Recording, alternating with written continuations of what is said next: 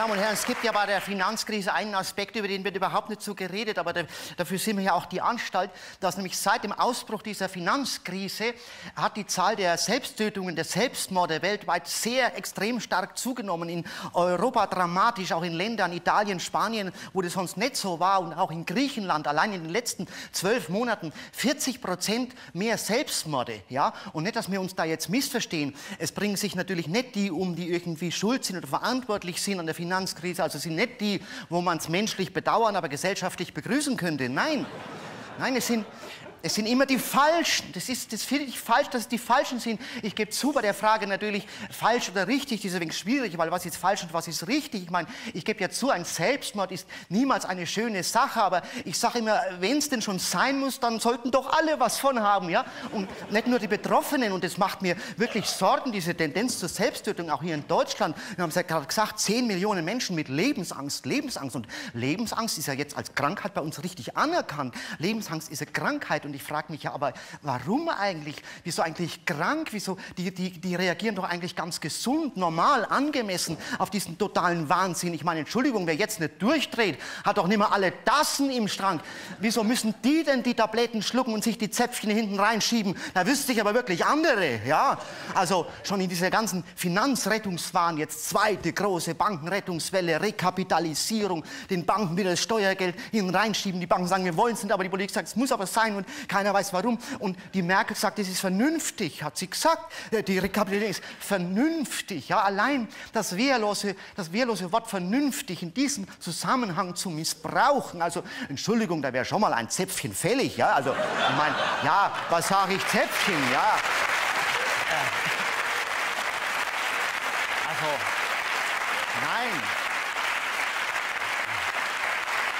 Also besser, besser zapfen, würde ich sagen, in dem Fall, weil, ich meine, äh, äh, vernünftig, Entschuldigung, ist das, das ist doch nicht vernünftig, es ist vielleicht zwingend und unvermeidlich, ja, das kann sein, aber nur, weil die ganze Logik so krank ist in diesem durch und durch kranken Finanzsystem und dann spricht überhaupt noch jemand von Vernunft, das ist das Problem, dauernd maskiert sich der Wahnsinn im Hosenanzug der Vernunft. Ich hätte mir so gewünscht, dass die Kanzlerin sagt, die Rekapitalisierung der Banken ist zum Kotzen, ja.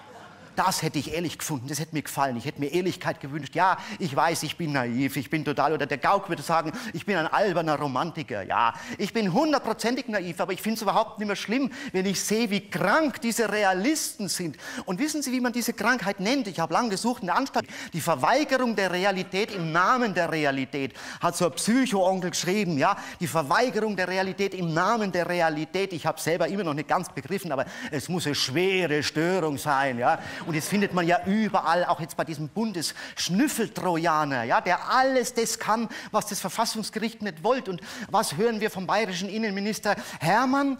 Wer sagt, dass das von den Gesetzen nicht gedeckt ist, soll die Gesetze ändern, damit es gedeckt ist. Dieser Satz wirft viele Fragen auf. Zum Beispiel reicht hier nur ein Zäpfchen. Ja?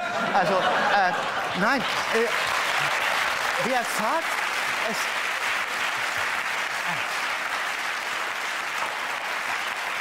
Wer sagt, wer sagt, dass ich die Vorfahrt missachtet habe, soll die Vorfahrtsschilder austauschen, damit ich sie nicht missachtet habe. Ja? Sagen Sie mal einem Polizeibeamten, der müssen Sie zum Idiotentest und kommen nie mehr raus. Und, und, und, und, es ist alles da, man wird wahnsinnig und deswegen kann ich das verstehen, dass viele durchdrehen. Deswegen ja auch seit der Finanzkrise wieder mehr Konsum von Psychopharmaka. War vorher schon ganz viel, jetzt noch mehr Psychopharmaka, mehr Selbstmorde, mehr Psychopharmaka. Und übrigens wissen Sie, was mir auch aufgefallen ist, auch sehr interessant. Seit der Finanzkrise gibt es auf dem Büchermarkt immer mehr von diesen, von diesen Glücksratgebern. Kennen Sie diese Glücksbücher von diesen Glücksschwätzern, die mit ihr Mach dein Glück selber Scheißdreck durchs Land ziehen. Ja? Da hast du schon das ganze Elend hier am tagtäglich und dann, dann hast du diesen Glücksstress. Plötzlich einen Glücksstress kriegt man richtig.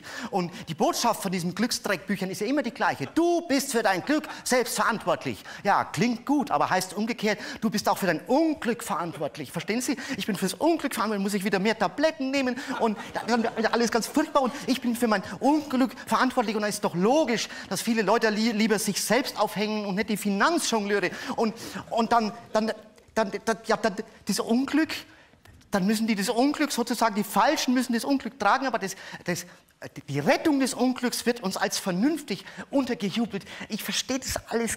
Hat, äh, jemand ein Zäpfchen?